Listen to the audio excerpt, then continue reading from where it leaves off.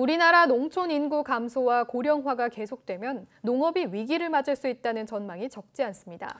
이에 따라 젊은 농업인, 특히 4H 회원을 중심으로 한 청년 농업인을 적극적으로 지원하는 정책이 시작됐습니다. 김학무 기자의 보도입니다.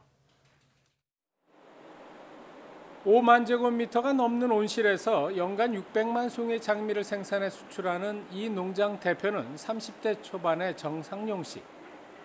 부친으로부터 농장을 물려받아 비교적 수월하게 자리 잡았지만 젊은 농민답게 스마트팜 시설을 갖추고 소비자와 소통하며 판로를 넓히고 있습니다.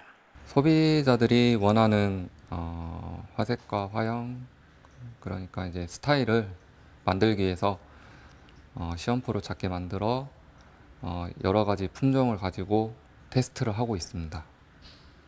역시 30대인 이치훈 씨는 혼자 힘으로 11년 만에 한우 400마리를 키우는 농장의 대표가 됐습니다.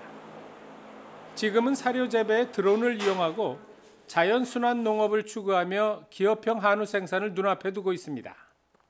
순수 국내 조사료로만 생산을 해서 유기축산물을 만들어서 그 소비자분들에게 직거래로 유통을 하고 싶은 게 제 앞으로의 목표입니다. 농촌진흥청이 이런 청년 농업인을 지원하는 사업을 본격 시작합니다. 우선 2021년까지 쌀과 한우, 채소, 과수 등 분야별로 젊은 농부 500명을 육성하고 자금을 지원합니다. 또 전국 4H 회원을 중심으로 2022년까지 전문 농업인 5천 명을 육성해 활력을 잃어가는 농촌의 리더로 양성할 계획입니다. 젊은 어, 창업적인 아이디어와 새로운 사고들이 농촌의 변화를 끌어올 거라고 생각을 합니다. 국내 35세 미만 젊은 농민은 불과 1%.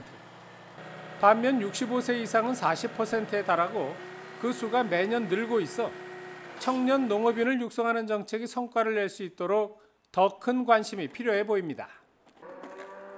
YTN 김학무입니다.